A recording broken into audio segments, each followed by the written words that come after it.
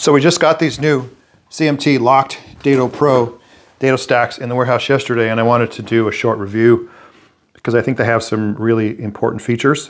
One of which is a huge safety feature that I think is worth considering this blade, um, maybe even replacing your current dado stack. So by way of definition, uh, dado stack is a adjustable width blade that you can use in your table saw to cut grooves or dados. Um, it consists of three multiple parts, but it has two outside blades. The two outside blades actually cut the, uh, the outside of your groove, and then the chippers clean out the waste from between. Plates can have between 24 and 12, 12 and 24 teeth. Um, the carbide usually sits proud of both sides of the outside blade and also of the chipper. You can see that it's the carbide's very proud of that chipper.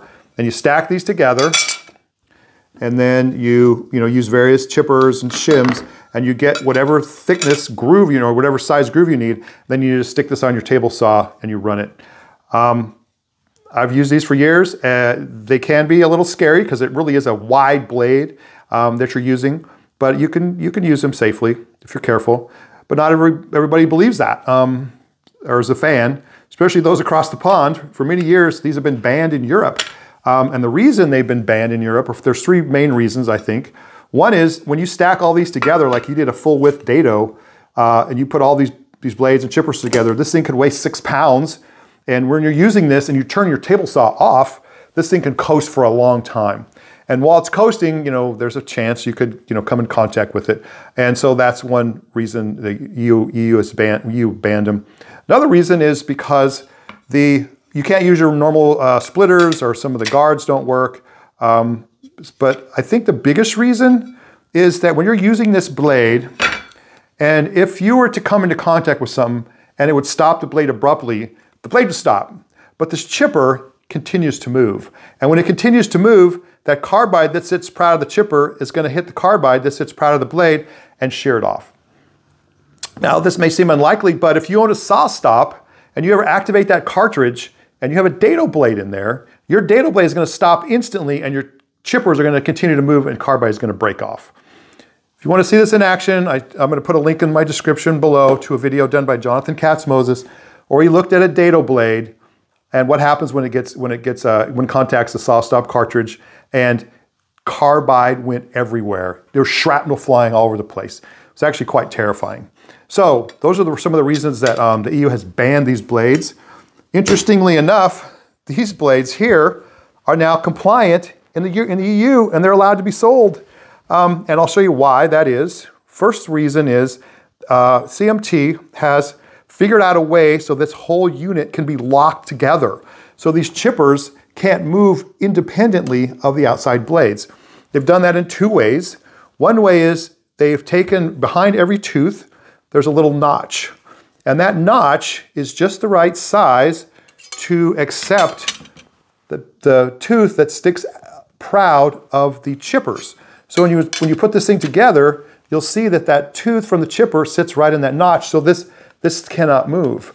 So that takes care of the chippers when they're in contact with the outside blade, but what about the rest when you're stacking these up? Well, they've done that by making these shims, these plastic shims, and then so between each chipper and between each chipper and also the other outside blade, there's these shims have these little ribs here, and these little ribs fit right around the cutout in the blade. So now this whole thing is locked together. So you can stack this up however you want.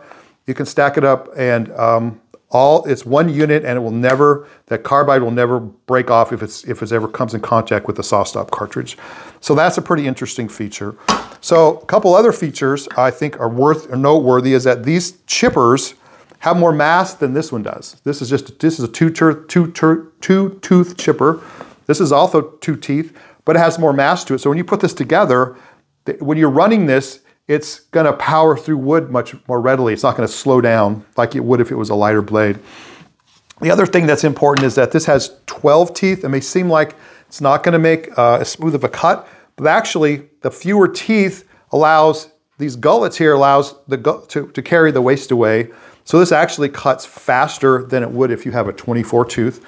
Um, and another thing that's interesting is that these, the way that this, these teeth are designed, this is a that has a bevel going one direction, so this outside point scores the outside of the, of the cut.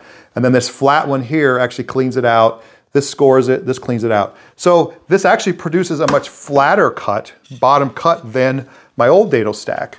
So here's my old dado stack when I use it, and you can see right in the corner there, they have these little bat ears. That, that's necessary because it has to score the veneer um, so it doesn't tear out.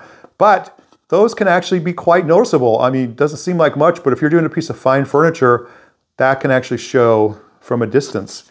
Now the CMT blade down here, it has the same little batter, but it's so tiny, you can barely see it. Glue would easily fill that gap. So that's pretty amazing.